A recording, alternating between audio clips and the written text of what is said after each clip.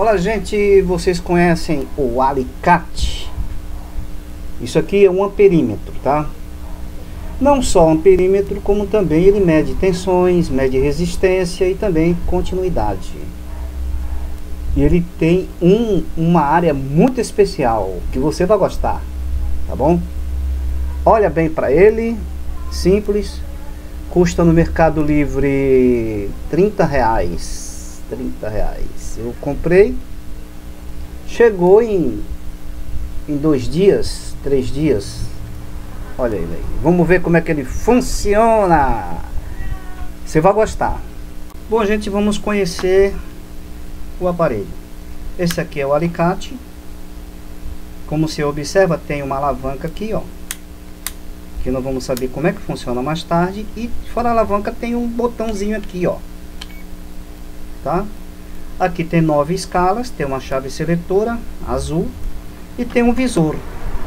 Fora o visor tem três orifícios aqui, três, três orifícios. Como nós vamos mexer com, com a escala mais perigosa, é essa escala aqui, essa de 600V. Ele fica acima do NCV. Ele mede a tensão de corrente alternada, que é esse aqui. Você não pode medir corrente alternada que vem da tomada em outra escala. Tem que ser só nessa, presta bem atenção. Só nessa aqui, 600V. Tem 600V embaixo, mas tem 600V em cima. Aqui em cima, aqui está dizendo, ó, corrente alternada. Aqui tem AC. Tá? Corrente alternada. Então é esse aqui de cima. Pode ver que tem uma setinha aqui e a gente vai colocar nele para medirmos a tensão que sai da tua tomada do, da, da sua parede. Em questão às ponteiras, é, a ponteira vermelha você coloca sempre nesse orifício à direita, onde está escrito V e um símbolo de ohms, que é uma ferradura para baixo. Você vai aqui, coloca, aperta bem e a preta você coloca no orifício central, onde está escrito com, sempre assim. Como nós vamos medir a corrente alternada, a corrente que sai da, da sua tomada para alimentar teus aparelhos, nós vamos deixar, como, como eu falei, nós vamos deixar nessa escala de 600V. Está escrito AC aqui, tá? Olha, vou botar um pouco mais para cá para você ver o resultado. Em questão as cores, para medir corrente alternada, é qualquer posição. Ó, você vai aqui e vai aqui. Ó, 219 volts. Agora vamos trocar a ponteira, vai dar na mesma. Ó. 219 volts. Certo? Então, essa escala aqui de 600 V, que está escrito acima do NC, é para medir a corrente alternada. Então daí dá para você entender, a começar a saber usar o teu alicate. Ele é muito bom, viu? Muito bom. Então você já está sabendo como medir a corrente alternada. Bom, agora que já fomos para a parte mais perigosa, vamos deixar de lado essa tomada aqui. Agora nós vamos para outra, outra escala. Bom, gente, agora nós vamos medir corrente contínua. Corrente contínua é feito na outra escala. Você viu que nós estávamos nessa escala aqui, que é alternate corrente, que é corrente alternada. E agora nós vamos lá para baixo, 600 volts. Está escrito aqui, 600 volts é direct corrente corrente contínua. Agora dessa vez nós vamos usar as ponteiras, as cores. Como você deve saber, a corrente contínua ela vem de pilhas. Ó, isso aqui é uma pilha, isso aqui é outra, isso aqui é outra. O nome pilha e bateria, gente, é a mesma coisa. Pilha com bateria tudo, são todos iguais. Então tá bom nós vamos medir agora essa aqui. Essa aqui tem 9 volts. Vamos colocar aqui. E vamos usar preto e o vermelho. Ó, pode ver que eu vou aqui no vou num e vou no outro. Ó. E já deu 9 volts ali, ó. Então, como é 9 volts, essa pilha tá boa. Se eu mudar a posição, vai aparecer um sinal de menos. Não sei se você está observando, mas parece que tem um sinal de menos aqui. Um sinal de menos. Esse sinal de menos indica que nós estamos medindo errado, que a posição das ponteiras está errada, entendeu? Menos. O negativo está no positivo e o positivo está no negativo. Agora vou mudar de novo. Agora veio certo. Positivo e negativo do, dessa pilha. Então essa pilha está boa, 9 volts. Nós vamos medir agora uma pilha comum, uma bateria comum. Ó, você usa o preto embaixo. Deixa eu subir aqui para ver direito. Deixa eu ver aqui essa posição. Aí. E vamos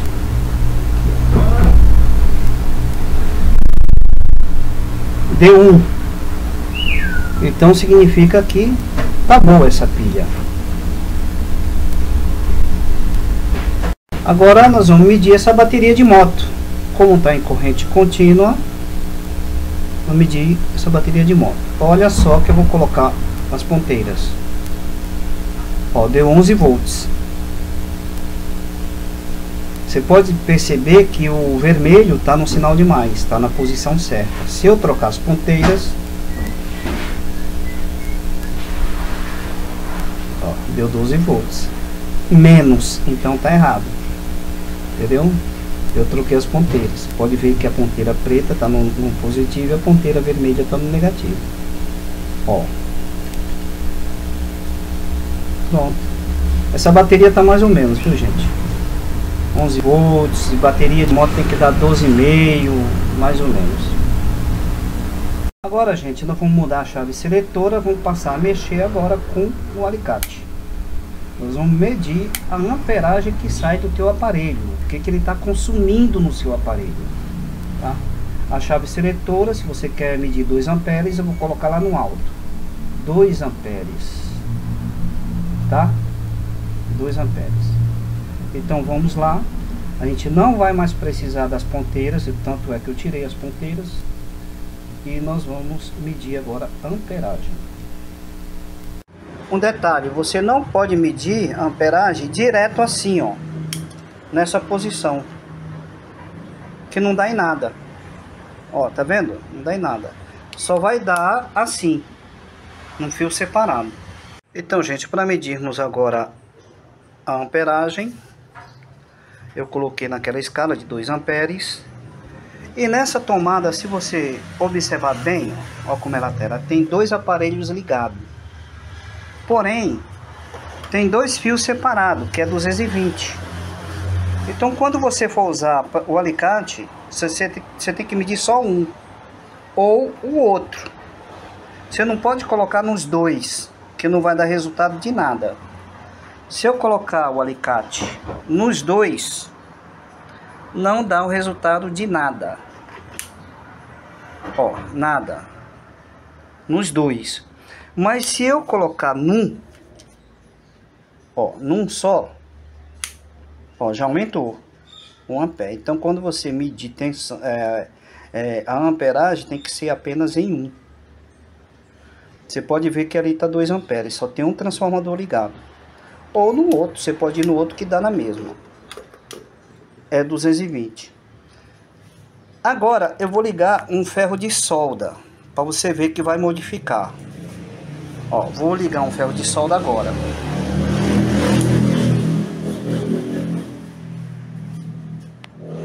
Liguei o ferro de solda.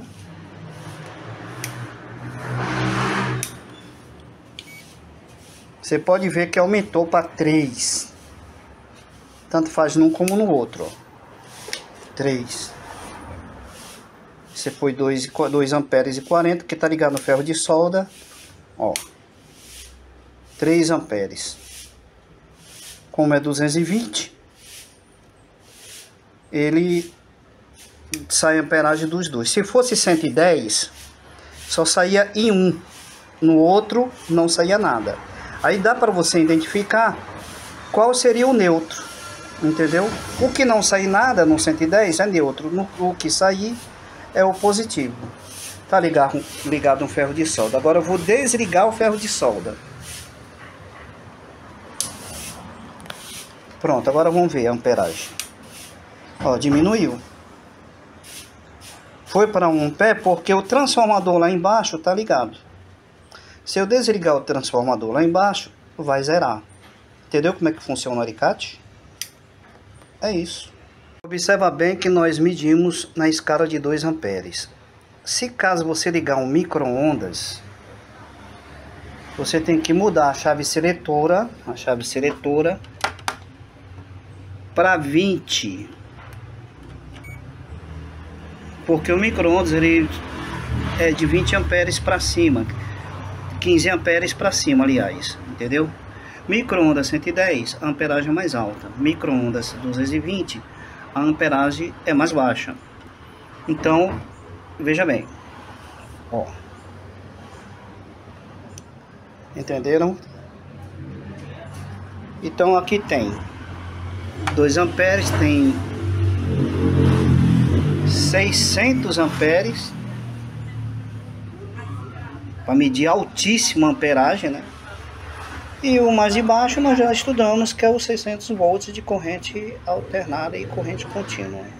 Agora é a vez do NCV. Esse NCV é interessante, gente. Para você saber se está passando energia em algum fio, você coloca nessa escala em NCV e coloca apenas a ponteira vermelha. Tira outra no NCV, ó, no NCV. E você simplesmente encosta para saber se está passando energia aqui, ó. Pode ver que ele piscou, ó. Tá indicando que está passando energia nesse fio. Ó. Eu vou tirar agora, tirei, ele parou. Eu vou colocar novamente. Ó, ele está dizendo que nesse fio está passando energia. E ajuda para o meu amigo Fábio, para ele só filmar aqui para mim. Ficar só nessa posição filmando essas tomadas. Filma só as tomadas, Fábio, só as tomadas, isso. Eu quero falar outra coisa interessante para você. Que ó, veja bem. Tem as duas ponteiras, outra tem NCV. Você quer saber se aqui está energizado? É fácil. Você pega o negativo aqui com o dedo e vai com a outra ponteira e procura, ó. Filma ali, ali onde eu tô, ali, ó. Olha, ó. A máquina tá tá dizendo que aqui passa um cano energizado, ó, viu? Não é simples? Fácil? Bom, gente, agora nós vamos para outra escala, que é essa escala aqui, ó. Essa escala onde tem um símbolo de diodo e também tem um símbolo de Wi-Fi, que todo mundo já conhece. A câmera está balançando, mas não tem problema. Você pega as duas ponteiras, volta o, o, o a ponteira vermelha onde estava aqui, tira do NC, que estava em NCV, e coloca para cá, nessa posição. Agora eu vou testar esse fusível grande aqui. Veja bem como é que eu vou fazer. De uma ponta para outra ele tem que emitir, tem que acender a luzinha aqui e emitir um aviso sonoro. Ó.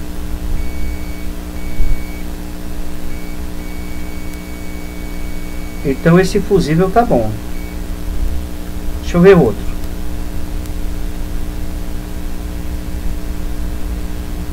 Esse tá queimado. Deixa eu ver outro. Esse também está queimado. Então, o único fusível que está bom é esse aqui. Pronto.